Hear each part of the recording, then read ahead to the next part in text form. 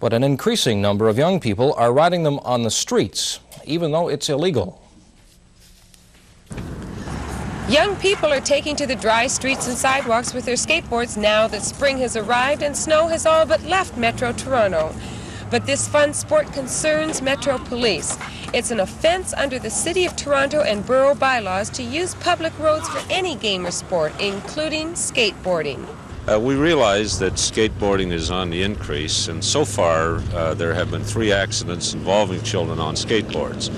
Uh, we are trying to bring home to parents that it is their responsibility to teach their children the safe use and safe place to use a skateboard. Uh, as police officers and as concerned parents, we send out a letter to the parents uh, when one of their children has been found on the roadway with a skateboard. Where would you suggest then young people skateboard? Well, certainly uh, not on the roadway. A schoolyard is, is safer.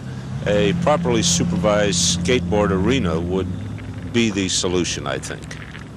This is the letter the Metropolitan Toronto Police send out to a parent when their child is caught skateboarding on the street.